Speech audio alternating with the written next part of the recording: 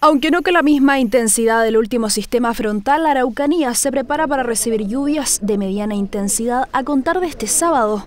La condición más compleja podría presentarse desde el domingo hasta la madrugada del lunes, especialmente en la zona pre y cordillerana.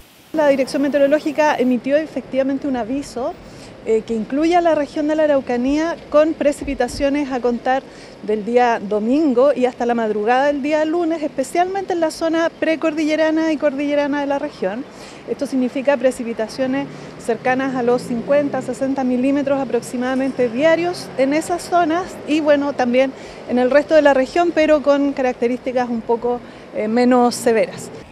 La coordinación del servicio con los municipios es primordial para monitorear este evento y responder de forma oportuna a las emergencias que se puedan presentar. El llamado de la autoridad es a seguir las recomendaciones preventivas. Conducir eh, con mayor precaución de lo habitual, bajar la velocidad, ¿cierto? Eh, sobre todo las personas que están en sectores rurales, eh, tratar de evitar cruzar cauces por eh, cruces que no sean eh, cruces formales, que estén autorizados. las personas que viven cerca de laderas también tener mucha precaución. Según lo indicado por la autoridad, se esperan hasta 50 milímetros de agua, cantidad menor a la registrada el pasado martes, donde alcanzó los 100 milímetros.